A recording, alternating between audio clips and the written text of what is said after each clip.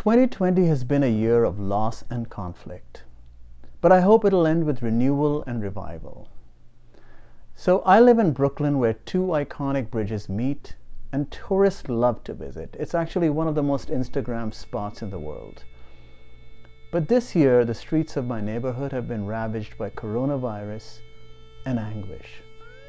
The sirens of death, despair, anger, and pain have not stopped ringing in New York City since March. America is burning right outside my front door, and we are burning with pain the pain of inequality, oppression, racial injustice in America, but also the rest of the world.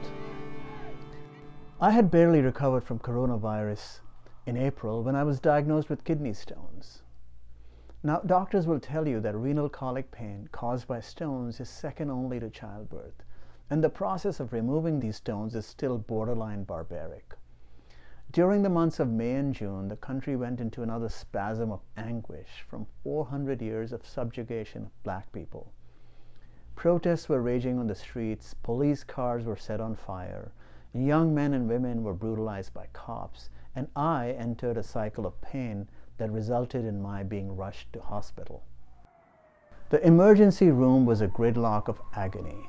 There was a young black man in a Black Lives Matter t shirt on a gurney opposite mine. His forehead had burst open like a pomegranate, and he was howling for morphine as cops were scrolling through their iPhones. Sedated on heavy doses of codeine, with the perpetual ache of a stent in my kidney, I was in a delirium for four weeks of June. The pain was excruciating, and my nurse, Miss Kim, was my savior drawing blood every six hours, shooting thinner into my veins, and sliding my body through the scanner before the cystoscopy. The stones sparkled like evil diamonds, the radiologist said. In the blue opioid haze of the recovery room, I had visions of mutilated genitalia of black female slaves upon whom J. Marion Sims, the so called father of gynecology, had performed surgeries without anesthesia. He claimed that blacks did not feel pain, so he gave anesthesia only to his white female patients, not to the black slaves that he had purchased to perform experiments upon. I came home after the procedure, the stent burning indignantly like a cross inside me. Outside, the virus of hate was corroding the soul of the country. Another black man, Rayshard Brooks was murdered in Atlanta by white cops. I thought it was a bad dream, but the rottenness of the racial divide was on full display. Our president, its ugliest manifestation. It's been said that this summer, people are having visions and hallucinations, and I think it's true. My mind was warped by harsh reality and pain medication. I've had recurring visions of Emmett Till and what hate did to that beautiful little boy. I've been in the murky river with him, with a huge metal fan around my head. I've been haunted by the ghosts of his torment and felt that a barbed wire was being pulled through my ureter, shredding my bladder.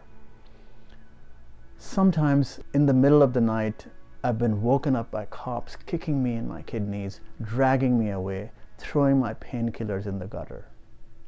In my nightmares, I've been a refugee woman aborting on a boat lost at sea. I've imagined Elijah McClain playing violin to kittens while in the chokehold of white supremacy.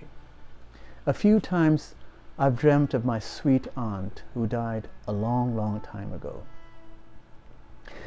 She suffered from macrocephaly and goiter and was treated with cruelty and mocked by her own mother all her life. You know, it seems like a calcium oxalate stone forms inside me every 20 years.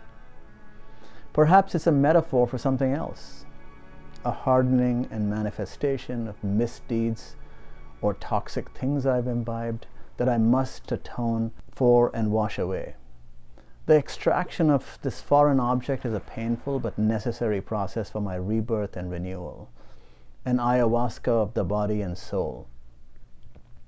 So on June 29th, my doctor shot a syringe full of lidocaine into me as a nurse held me down and he pulled the stent out of my body.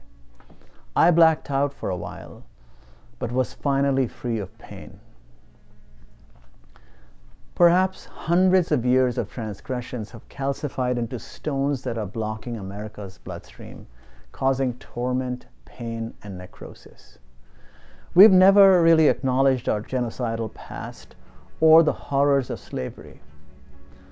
Unlike other nations with histories of oppression, we haven't cleansed ourselves of racial injustice and inequality we carry within us this terrible karma of cruel foreign policies, the murder of millions of innocents, and our disdain for the world and the environment. And it's all choked up inside us like blood clots in the arteries. We will not heal unless these stones are removed. Their extraction is painful, but vital for our country to regain its health. So I'm free of pain now and I can walk and even run in the wounded light of my ravaged city. I feel so grateful to be alive. And I'm optimistic that this November, America too will remove a stone from its body.